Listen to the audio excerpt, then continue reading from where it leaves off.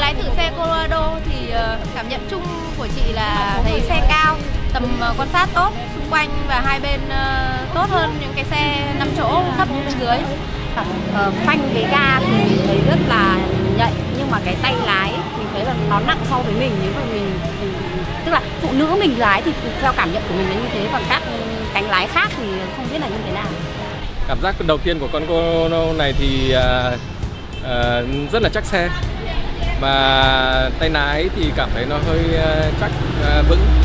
À, mình nghĩ rằng cái con này rất thích hợp đối với những cái môi trường à, như là của mình mà mưa lụt nhiều ấy thì có thể sử dụng những cái con à, xe này đi trong thành phố cũng rất là tốt.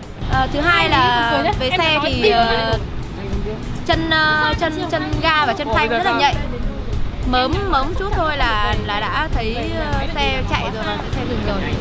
Thì ờ, về cảm quan của chị thì rất là thích. Vừa rồi mình lái một con à, xe là xe Chevrolet Captiva. Thực sự là uh, tay lái thì nhẹ, ngồi ở trên xe thì uh, mát.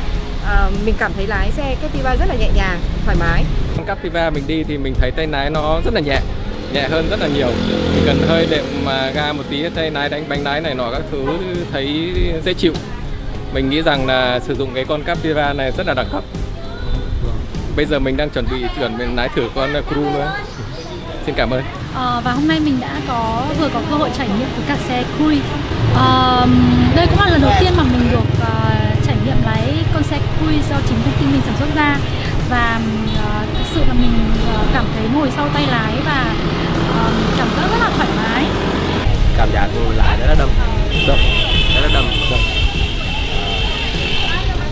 vì là chạy tốc độ hơi thấp nên là chưa nói về độ bông hay gì nhưng mà chạy nó vì là tay lái tương đối là thật ờ, và vâng, ờ, cũng tiếp theo là sau khi mà trải nghiệm lái xe được ờ, khoảng 2 3 phút mình đã bắt đầu làm quen với um, vô lăng. Và mình cũng cảm thấy cái xe chạy rất là êm như là sau đó được ngồi ở phía sau thì mình thấy cái khoang sau nó cũng rất là rộng rãi và thoải mái cho người ngồi.